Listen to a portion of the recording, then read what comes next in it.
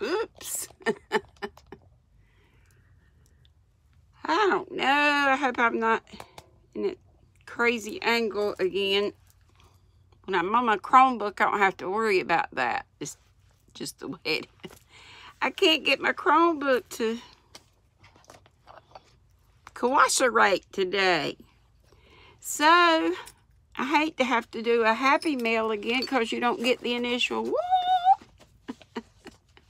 But, I'm going to bust y'all's ears out.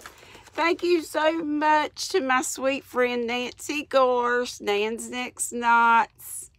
I call her Fluffy. she knows why. God bless America. Happy 4th of July. Amen. May peace, love, and happiness always be with you and you too, Nancy. And us all. And look what she went and sent me. Gorgeous red, white, and blue stitch marker. And I bet she sent not only me, but a bunch of folks. She's so sweet. She is the Happy Mail Queen. Thank you so much, Nancy. I really appreciate it. And while we're on patriotic stuff, I probably should have put this on first. Look what my sissy made me. Sis, I put the flowers on. She didn't put the flowers on because I guess she didn't know whether I'd want them or not. But heck yeah. And look I just kind of had them hanging off.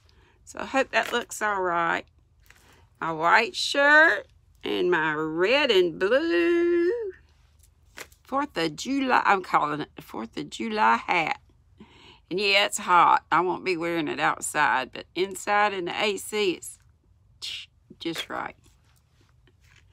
But for now, I'm wearing my little, I love, Furls yarn is expensive, y'all, but man, I think it's worth it.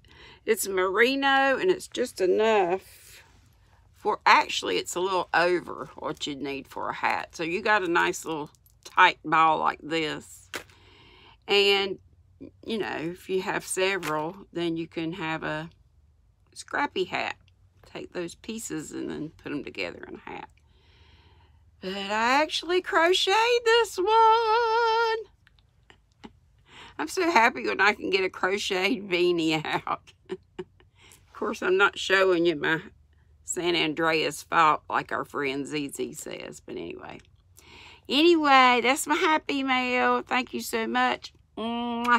Nancy and Sissy, Sissy, Sissy T. Love you both and love you all. And remember today is Monday, so it's live at 5. Tea with GrannyDee. Come on. Don't be square. Be there be square. Come where the cool kids are. Come be a part of the Squirrel Squad. Love y'all. Bye.